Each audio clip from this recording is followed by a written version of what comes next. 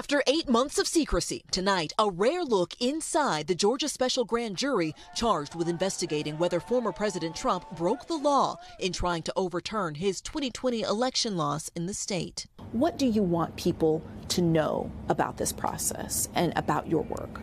That really, really, when it came down to it, we were just people looking into something, and that's worth it. Emily Kohrs served as foreperson. She is limited in what she can share. A judge ordered deliberations must stay under wraps. But Kohrs confirms the jurors did recommend indictments against multiple people. It's not a short list. So we're talking about more than a dozen people? I would say that, yes. Are these recognizable names, names that people would know? There are certainly names that you would recognize, yes.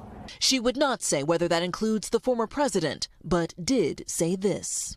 I don't think that there are any giant plot twists coming. I don't think that there are any like giant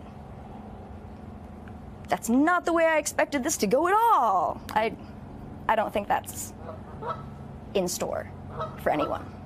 The sections that were removed were consciously chosen to be removed, and I don't want to say I have better judgment than the judge. That's totally understandable. Is it? Would you say when it comes to there are indi- there are indictments recommended, of course. Is it Yes. more than 12 people? Is it more than 20 people? I think if you look at the page numbers of the report, there's about six pages in the middle that got cut out. Allow for spacing. It's not a short list. Not a short list. More, I mean, if- when it comes to the name that everyone wants to know about is former President Trump. Of course. Did you recommend charges against Donald Trump? I really don't want to share something that the judge made a conscious decision not to share. I I will tell you that it was a process where we heard his name a lot. Uh, we definitely heard a lot about former President Trump, and we definitely discussed him a lot in the room.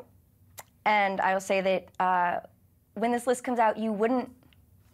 There are no major plot twists waiting for you.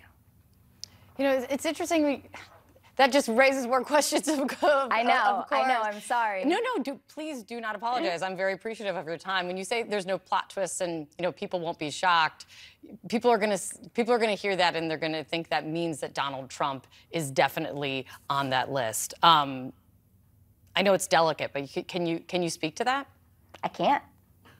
Well, understand. I might be able to according to instructions, but I don't want to. But in your view, people will not be surprised when they see the list of names to come out who you recommended to face indictment. Especially if they've been following the investigation. I I can't see it being a shocker. You know, Donald Trump put out a statement. If what he was talking about was our statement where we indicated that there was no evidence of widespread fraud or widespread vote fraud in the Georgia 2020 election, that might have been what he meant. Other than that, I'm not positive what he meant by that. I'd be interested to know.